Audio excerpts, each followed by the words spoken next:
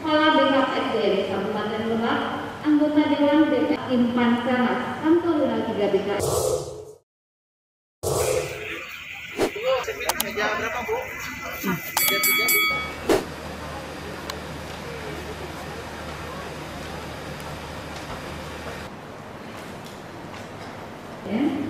Kepala Umum,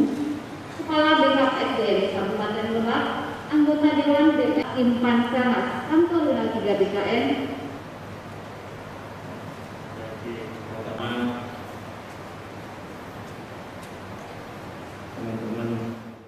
Jumlah totalnya adalah 370 untuk yang di Latansa, Ya. perebutannya adalah 218 formasi. Nah, di antaranya apa aja tuh Di antaranya jelas dokter dari formasi kesehatan dan dari formasi teknis. Untuk Ah. dua formasi itu, kalau untuk guru kan ada P3K non guru khusus. Betul.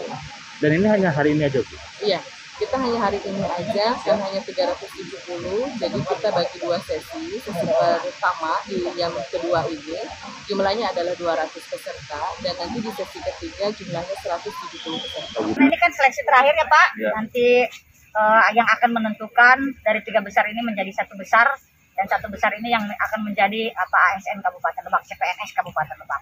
Harapan saya tentunya tadi itu jangan hanya semangatnya ketika eh, apa ikut testing aja ini menjadi CPNS, tapi nanti ketika sudah terpilih menjadi ASN, jadi motivasinya jadi rendah kan, ulala karena ASN itu kan identik bahwa mendapatkan gaji sudah seumur hidup dan lain sebagainya. Justru dengan dia terpilih ditetapkan menjadi ASN ini harus lebih punya motivasi yang tinggi lagi untuk bersama-sama mengabdi untuk bangsa terutama Kabupaten.